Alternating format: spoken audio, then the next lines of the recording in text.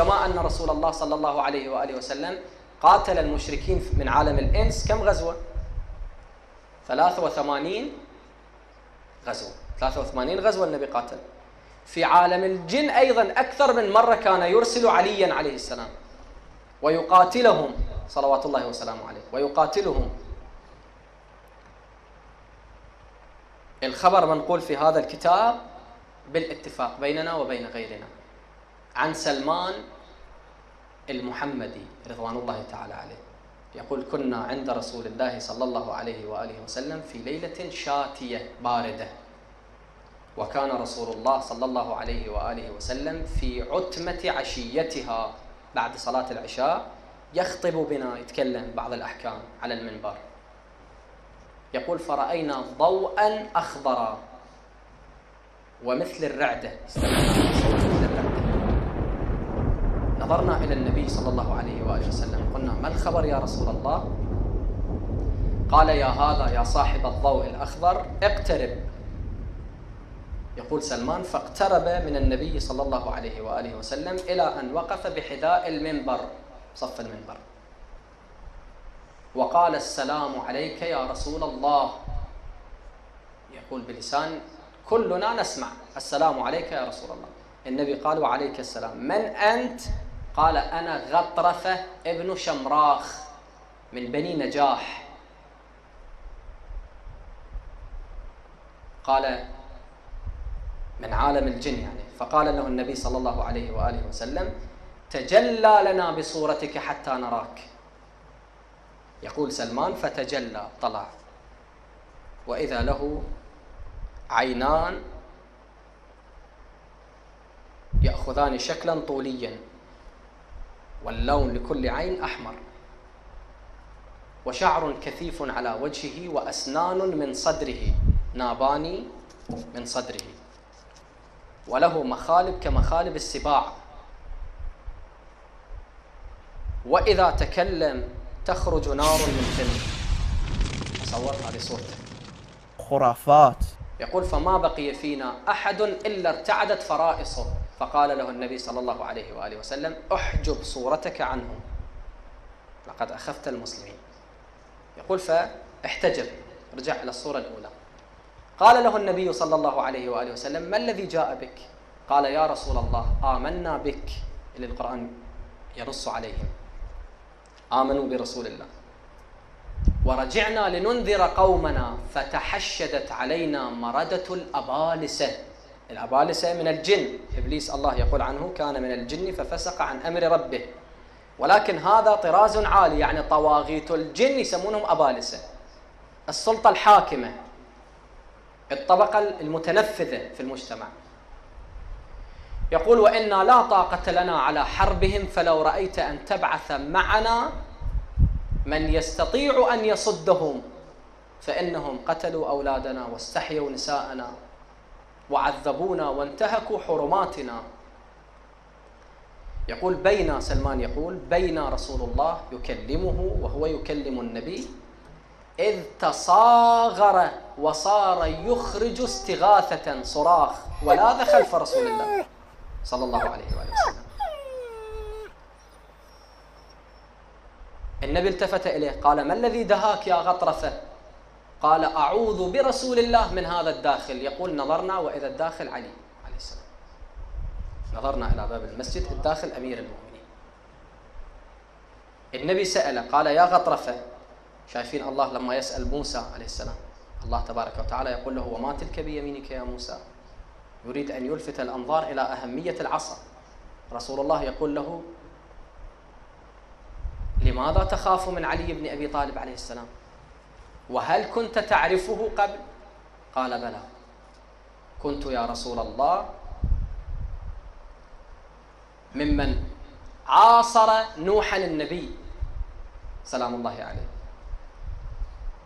وجهزنا إبليس لقلب السفينة لخرقها حتى تغرق بمن فيها. فكنت أول من دخل إلى السفينة وإذا نوح علق وهذا إلى اليوم الآن موجوده اللوحة في المتحف البريطاني.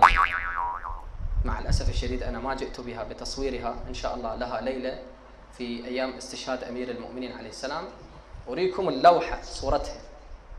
والمخطوط عليها ما هو مكتوب عليها.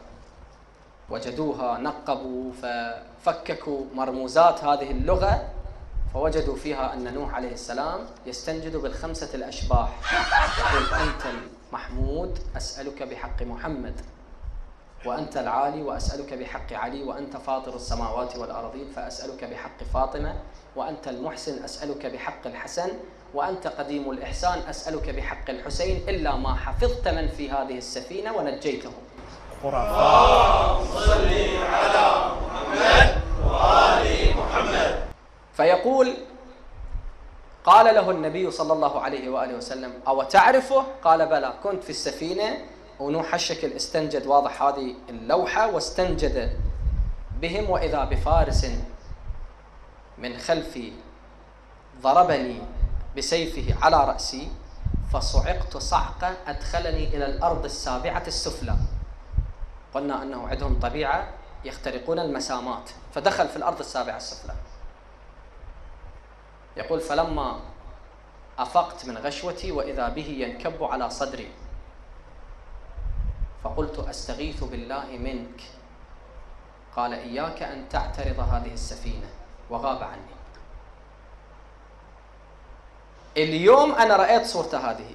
يقول فتبسم رسول الله صلى الله عليه وآله وسلم. وهذا خبر نقله غيرنا أيها الإخوة. النبي تبسم. ونظر إلى علي عليه السلام قال لقد صدق غطرفة يا علي لقد أيد الله بك الأنبياء سرا وأيدني بك جهرا. Such خرافات. فقال له رسول الله طمأن غطرفة قال لا تخف فإنك على ملته أنت مسلم الآن. رسول الله نادى في المجلس من له قدرة على معرفة لغة غطرفة ولغة قومه؟ ومعرفة ما أريد أن أقول لهم من تبليغ رسالي.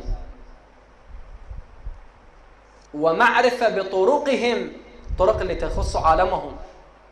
منو عنده مقدرة هالشكل؟ يقول فقام علي عليه السلام قال أنا يا رسول الله. رسول الله قال انطلق إلى دارك وودع فاطمة والحسنين ثم ارجع إليه. فعلا ودعهم ثم رجع إلى رسول الله صلى الله عليه وآله وسلم. وما أخذ يقول سلمان سوى ذي الفقار. أخذ ذا الفقار. أخذه معه يقول رسول الله التفت إلي إلى سلمان. قال يا سلمان اتبع علي. عليه السلام. امشي معه يقول فقلت السمع والطاعة. رافقت أمير المؤمنين. قال اعصب رأسك. شد عيونك عن الشكل. يقول فسرنا من عتمة الليل هاي بعد العشاء ساعات إلى أن قال لي أمير المؤمنين عليه السلام أمط اللثام. النقاب ميلة. يقول أردفني على الناقة خلفه.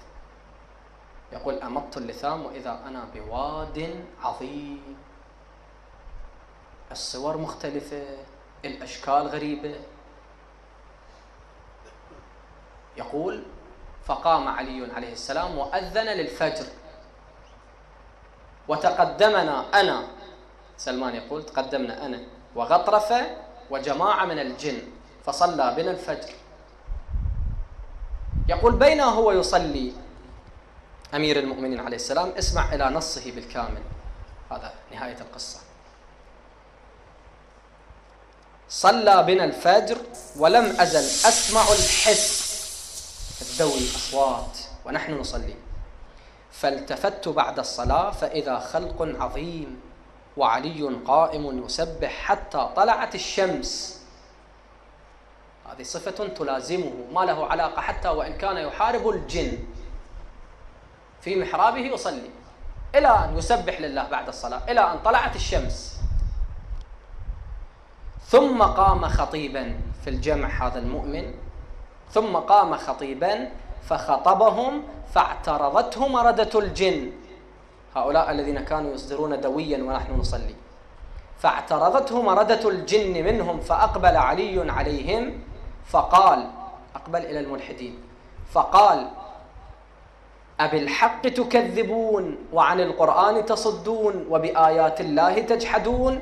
ثم رفع رأسه إلى السماء فقال اللهم بالكلمة العظمى والأسماء الحسنى والعزائم الكبرى والحي القيوم ومحيي الموتى ومميت الأحياء ورب السماء. يا حرسة الجن. ينادي على حرسة السماء. فوجدناها ملئت حرسا شديدا وشهبا. علي ينادي هؤلاء يخاطبهم يأمرهم يحركهم. يا حرسة الجن ورصدة الشياطين. وخدام الله ويا ذوي الأرواح الطاهرة اهبطوا بالجمرة التي لا تنطفئ والشهاب الثاقب والشواظ المحرق. إلى آخر ما استنجد به يقول سلمان فأحسست بالأرض من تحتي ترتعد وسمعت في الهواء دويا شديدا ثم نزلت نار من السماء فصعق كل من رآها من الجن وخروا على وجوههم وسقطت على وجهي فلما أفقت نادانا علي عليه السلام ارفعوا رؤوسكم فقد أهلك الله الظالمين ثم عاد لخطبته مع المؤمنين.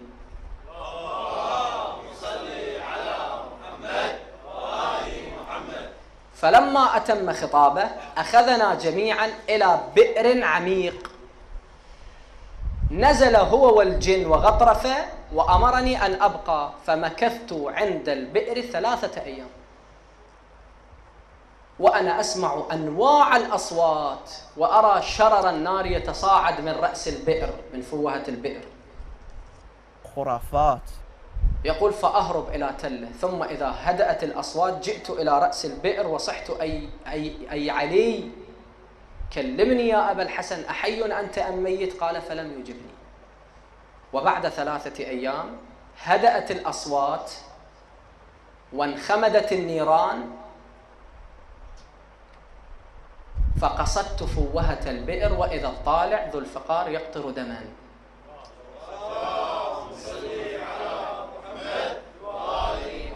وعلي عليه السلام وبه جراحة على رأسه. صلوات الله وسلامه عليه. فأخذني ورجعنا إلى رسول الله صلى الله عليه وآله وسلم وكان رسول الله ينتظره عند باب المسجد. فاحتضنه وضمه وقال أنت مني وأنا منك. ثم أجلسه وقال يا علي حدث المسلمين بما رأيت فحدثهم. خرافات خرافات خرافات. هذا بعد مقام قرآني لعلي عليه السلام. نفس رسول الله. رسول الله أثبت القرآن أنه حاكم على الجن. علي أثبت القرآن أنه وارث رسول الله. علي أيضا إمام الجن. صلوات الله وسلامه ولذلك من المستحب في الشدائد أن نندب عليا عليه السلام. Such خرافات.